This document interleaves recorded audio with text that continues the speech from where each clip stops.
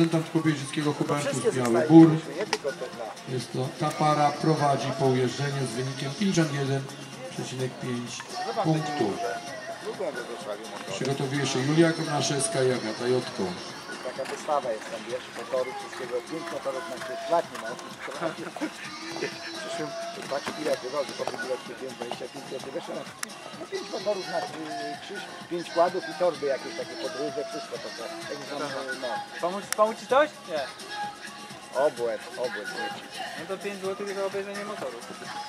Ale to już nie chodzi o te pieniądze, to wstydziliby się coś takiego robić, nie? No. Panie Marcinie,